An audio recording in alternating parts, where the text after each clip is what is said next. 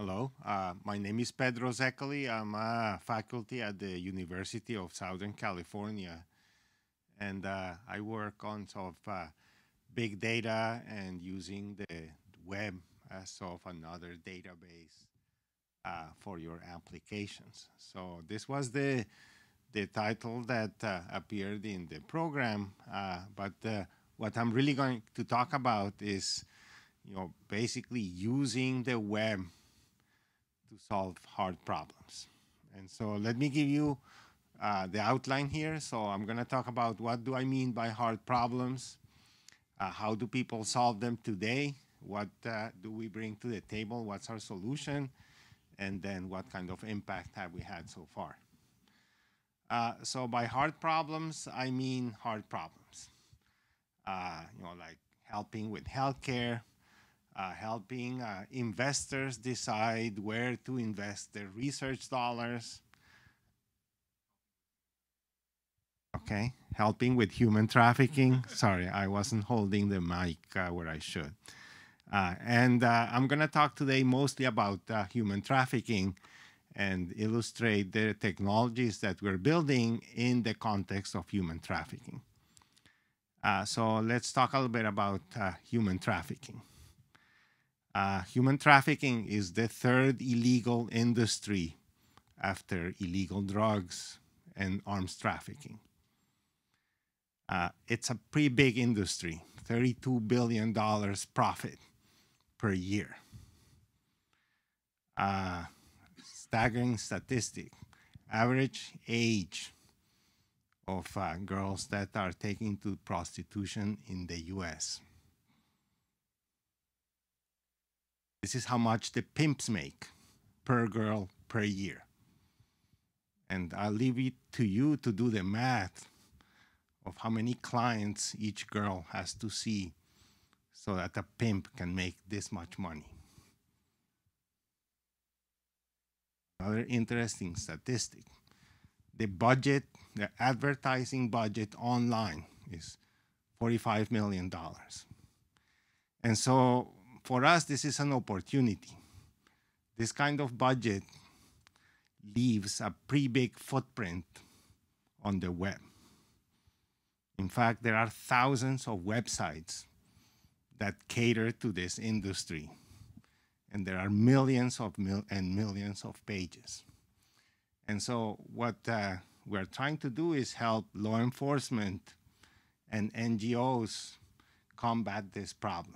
You know, help the victims and prosecute the bad guys. So, what do they use today? This is the tool that they use to comb through the internet to find the victims and to find evidence to prosecute the bad guys. And I'm not gonna, I'm, i want to illustrate what they do with Google but I don't want to show you escort ads uh, because they're very graphic. So I'm gonna illustrate it uh, in a different domain, recipes. So if I go to Google and I look for a strange dish like székely gulyás, uh, this is uh, a goulash from southern Hungary. It happens to be named with the same name as my last name, so that's what's so cool about it. Uh, and you start typing that, and Google sort of does autocomplete and finds it, and then you click and you see the recipe. So this is what I mean by Google finding the dots. It's very easy to find a specific piece of information on the web with Google. And I can read the ingredients and it says, you know, it uses Hungarian sausage. And I says, you know, what's in Hungarian sausage? I can look that up in Google. It's another dot. Tells me how much fat and protein is in Hungarian sausage. And so uh, what I can do with Google is find the dots, but I have to so find the connections. I have to go from one page and say, okay, I want to look this up. And so if I wanted to do this for all the ingredients in goulash, okay, you know, it would take me five minutes. If I want to do this for every Hungarian recipe, this would not be possible. Uh, and then for every cuisine, not possible. So the idea is, you know, can we actually do this, build an application, build infrastructure that you can, on tools that you can do this at a massive scale in any particular domain.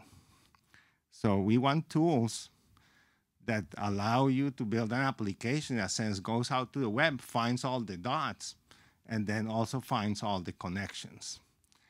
And so if I go back to human trafficking, Google doesn't actually work as well for human trafficking as it works for recipes. If I start typing an escort name and saying blue eyes and so on, Google does not autocomplete uh, because all this is based on what people mostly look for. And you know, fortunately, there aren't that many people on the web looking for escorts. Uh, so Google doesn't autocomplete. Uh, so you know, this is in part one of the reasons why you want technology that is built for a specific domain. So let me tell, tell you about this kind of software that we're building and how I think applies to the kinds of applications that you might have. So if you think about it, it's all pretty simple. The idea is, in a sense, very simple. Uh, building it is a bit more difficult. So the idea is, okay, I have to go find all the web pages, all the escort pages, and download them. Then I need to extract all the data from them. Then I need to figure out how they are connected. This is all the hard part. Then I have to put all this in some kind of database so that I can search all this information as if it was a database. Uh, so crawling uh, is of a is mostly solved problem. You have a piece of software, goes to a website, downloads a page, follows the links, downloads those pages, and it keeps doing this all day long. And uh, so we have uh, crawlers that are coming the human trafficking web and download about 2,000 to 5,000 pages per hour. So we have 50 million web pages of escort ads. You know, so of a staggering number, and we don't have all of them. We actually don't have. We have a small percentage. We have the most popular websites. Uh, and so let me show you a little bit what the text of an ad looks like. Uh, so you see there's purposeful obfuscation so that uh, people searching on Google, like law enforcement law, searching for a phone number in Google, doesn't hit this page. Uh, you pay in roses, not in dollars, uh, and so on. And so if we want to really treat this as a database, we need to extract structured data that looks like this. Uh, and so we're working on extractors that basically use machine learning and crowdsourcing uh, to basically train domain-specific uh, extractors. So in this case, we're doing it for human trafficking, but if you were in the movie industry, you could imagine of getting information from reviews or tweets or whatever, where uh, your standard uh, sort of person, organization, and place extractor is not going to give you what you want. So the idea here is we take these sentences and uh, we ask people in Amazon Mechanical Turk to annotate them. So this is a crowdsourcing service where you pay people to do very small tasks and you pay them a very small amount, uh, like two cents per task. And so we can collect basically 5,000 annotations of sentences where people highlight where do they mention, say, eye color and hair color.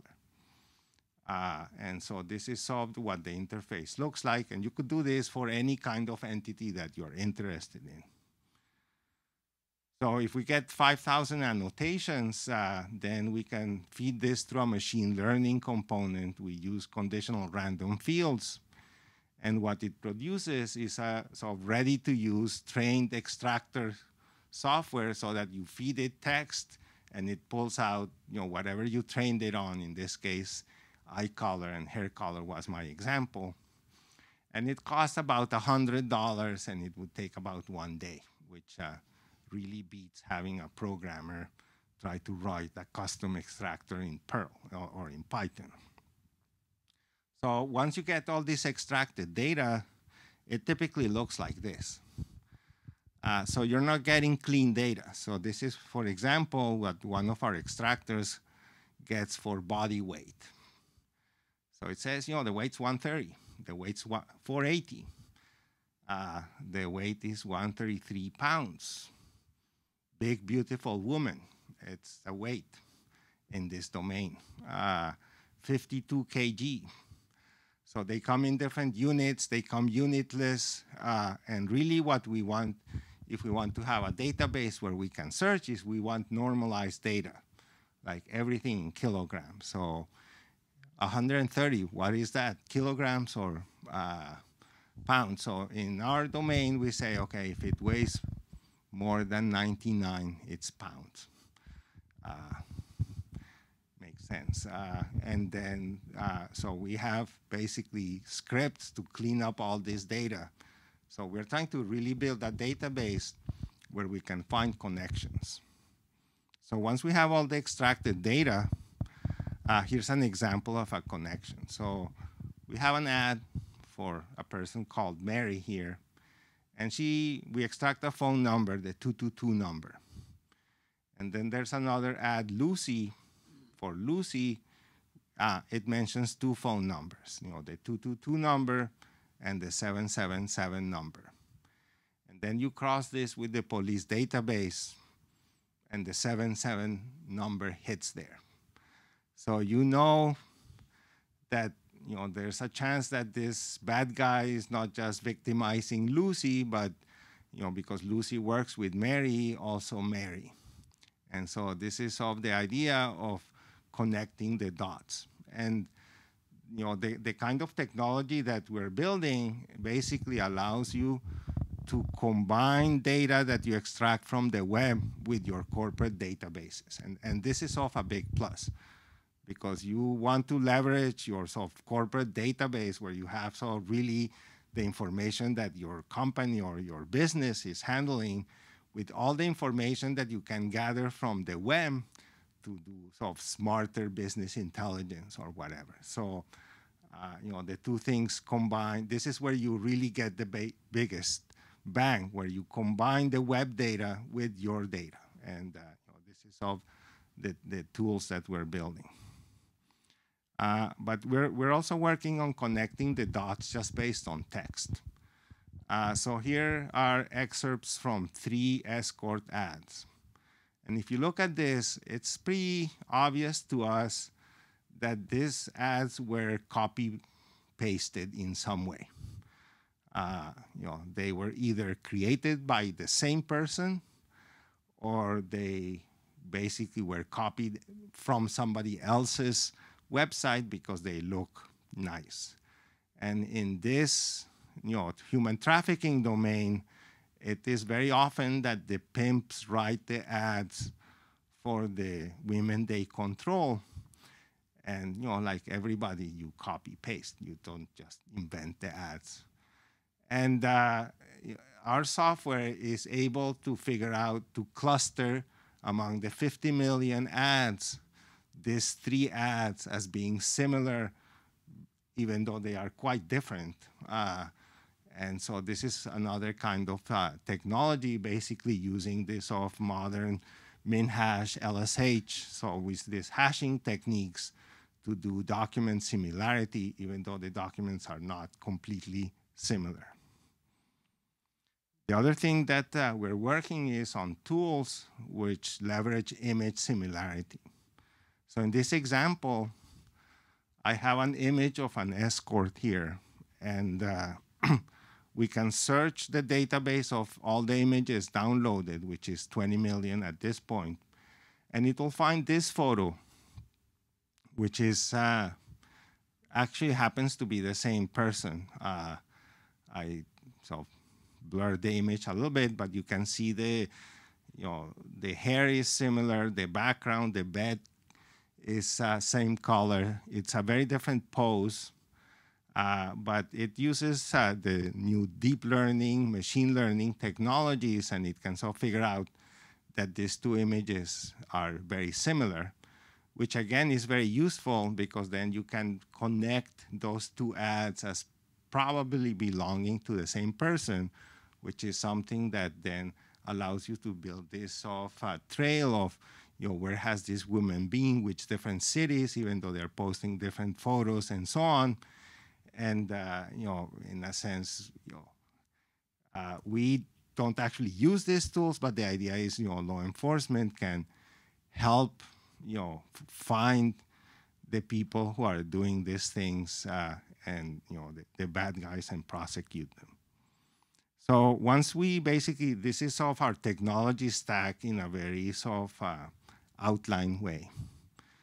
So we have 50 million ads. They come sit in HDFS. We use Hadoop MapReduce. And we basically uh, are building, we have a cluster of just 20 computers. You know, 50 million is not a really huge number in big data terms. Uh, and we can basically process the whole data set in about two hours to build uh, you know, this connected database that has all the connections that then can be searched to try to sort of figure out, uh, you know, help people figure out what's going on. Even, even the simple question of measuring how many victims are there is not something that has an answer right now. People just don't even know that. You know, you know there's of millions and millions of ads and you don't even know how many people are, you know, being subjected to this. And so we're hoping that this kind of database, in addition to helping victims and helping law enforcement, is going to really help people get a grasp on so what's really going on here. Uh, so roughly know how much money there is, uh, because you know the websites are public websites. You know how much they charge for ad. Anyway, so uh, and the system runs on basically this kind of Hadoop environment. We do all the extraction, all this of linking of the information, and we use Elasticsearch as our backend. So everything at the at the end is sitting in an Elasticsearch cluster with 20 nodes. Each one has about 300 gigabytes of memory, so they are pretty big nodes. So the whole data set fits in memory. So you, you get basically a, a, a query interface. Uh, so I, am I'm, I'm sorry, I, I, am not allowed to give a demo uh, uh, of the system. I'm allowed to show you a screen of how it looks like to the users. And I blocked all the information that could be, you know, has, you know, identify the person. So you type keywords at the top. So I'm looking for Tony in Las Vegas. Uh, and then it matches all the ads that somewhere in there have Tony in Las Vegas. And then you get a faceted browsing interface. So it it sort of looks like an Amazon page. You're, you're looking for something, you type the keywords, and then on the right, on the left, you get facets by location, by ethnicity, by hair color, by eye color, and so on. Uh, and because you're trying to find, you know, the specific people and draw the connections. Uh, and then the image similarity, you just click on an image and say find similar.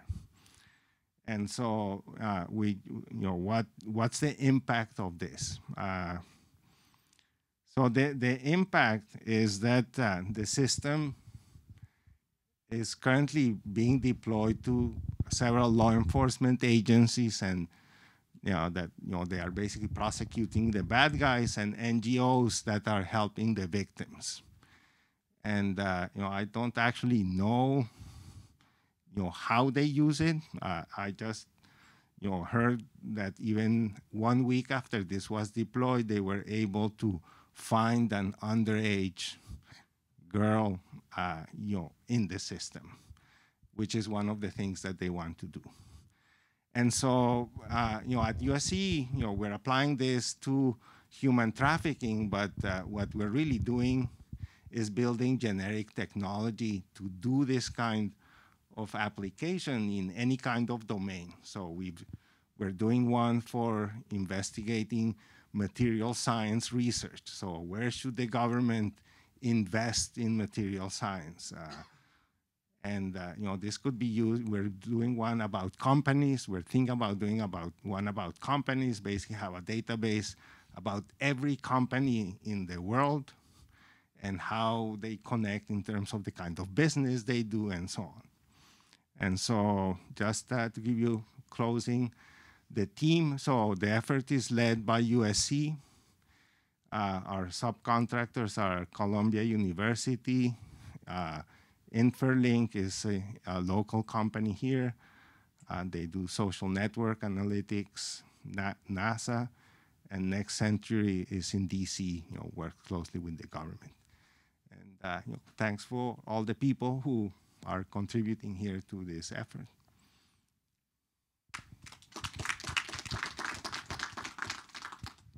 Thank you so much, Pedro. Um, I know this seems to be a little bit off topic, um, but some of the executives at the studios have seen some of the Karma work or this relational database semantic technologies and seen huge applications to everything from metadata to other things within the studios. Um, and so that's why we kind of brought this out here and uh, thought that that would kind of just jostle some ideas and some minds and putting that out. Um, do we have questions? I got one over there. Josh? You got it?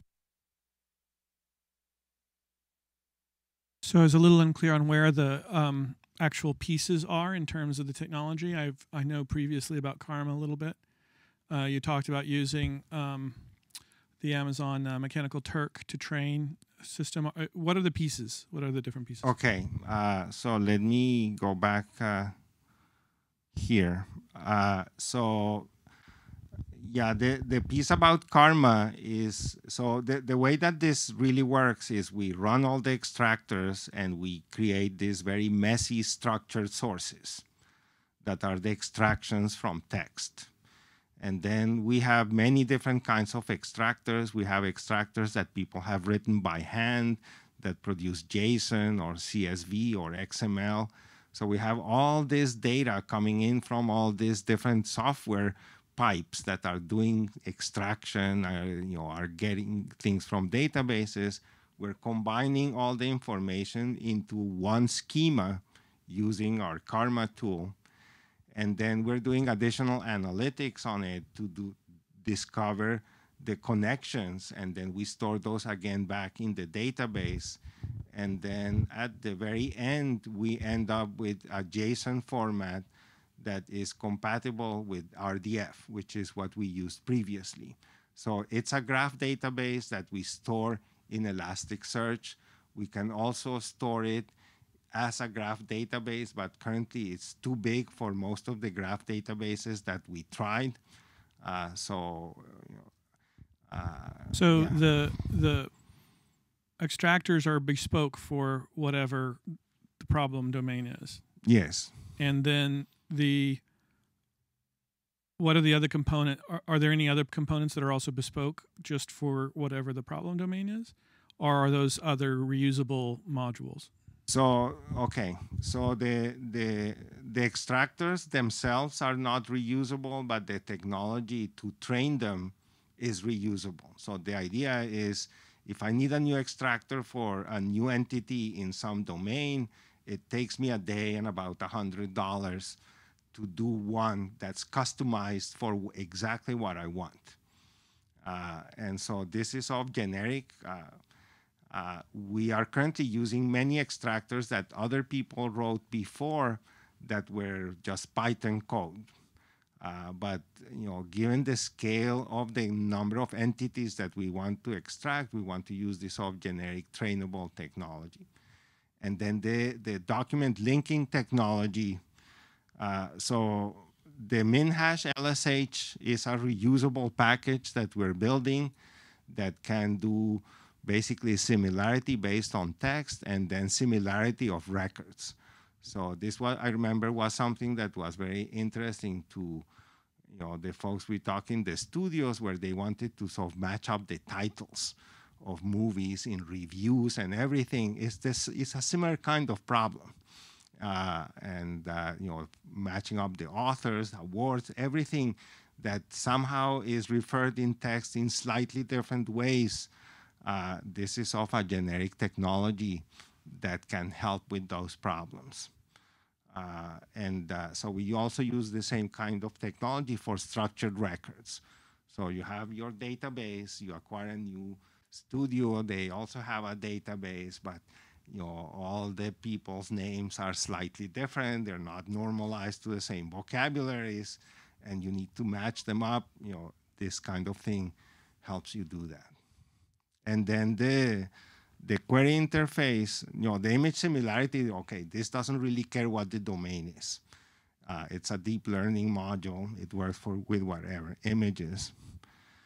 Uh, and then the GUI is also generic. So, uh, you know, it doesn't care what these features mean, uh, you know, and so on. And the other thing is all the software in this project is open source. You know, the whole stack is, open. you know, our software is open source and everything we use is under a permissive license. So there's no GNU code in here. It's all Apache or MIT or Mozilla license, so everybody can use this for whatever they want.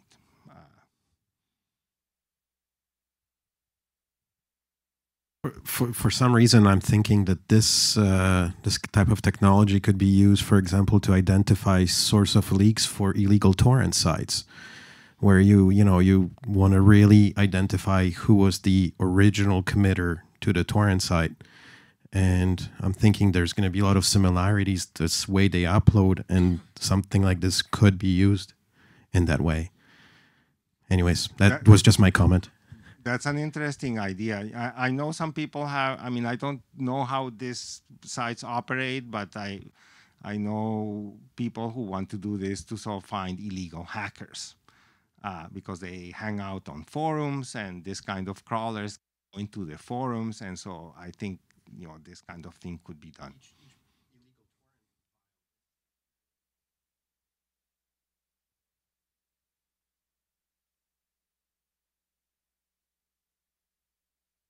Okay.